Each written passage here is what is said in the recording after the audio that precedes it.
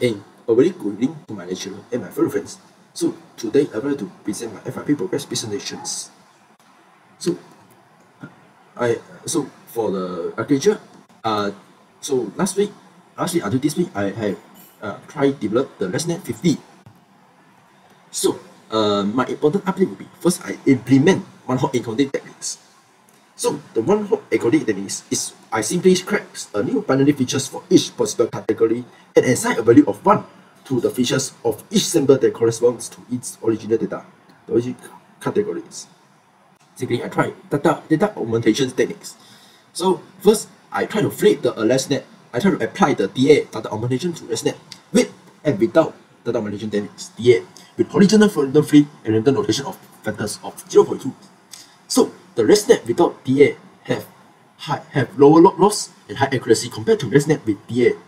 So one thing that um so for so one thing that I think that REST uh, DA automations have the risk of overfitting the model through your training dataset by getting too much of augmentation to increase the size.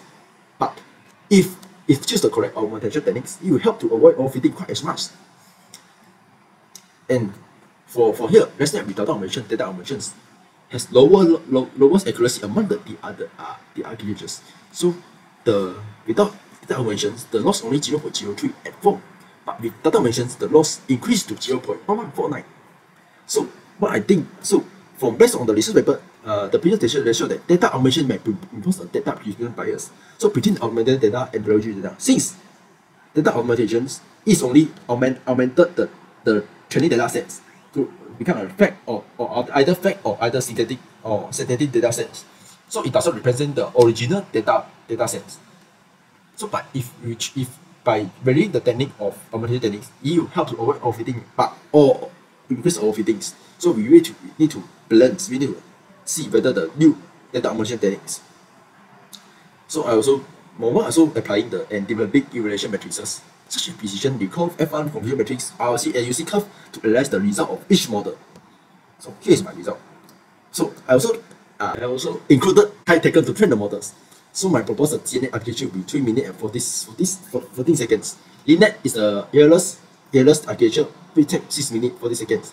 So uh, if I so if I modify the LeNet to to my purpose, it will take two times faster than, than the original architectures. So with the data augmentations, it only 30, 23 hours. Need the 23 hours because if we create external, we, we input more external data set to the to the ResNet. So the ResNet without data, uh, data augmentations, 20 hours only. So the when the red light and, and yellow light, yellow highlights show the if yellow light show the show the better best result, and red light show the worst worst worst result. Is is with the room data augmentation techniques. Our model will show shows us the you you affect the the accuracy, affect the performance of the model. Since if you choose the wrong data augmentation techniques, if you if you simply if you simply give the false false false data to the models. So so but I, I also want to uh want to want to include that uh CNN model CNN model uh I propose model is three three minutes and forty seconds shorter than ResNet.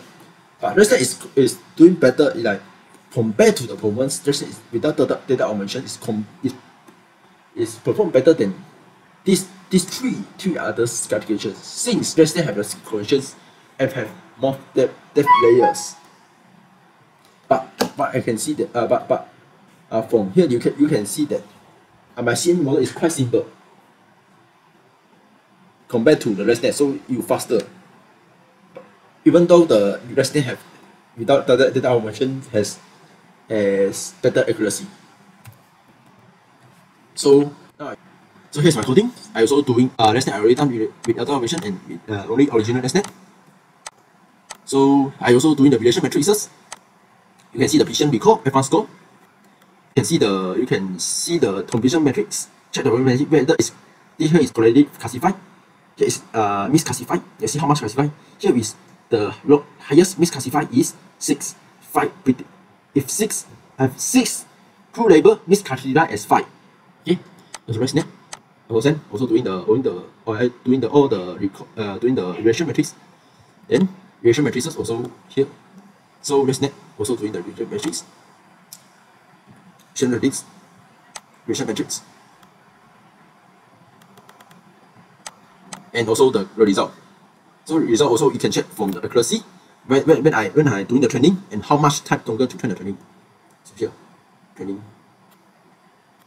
So here is the training compared to all the architectures. So that's all for me.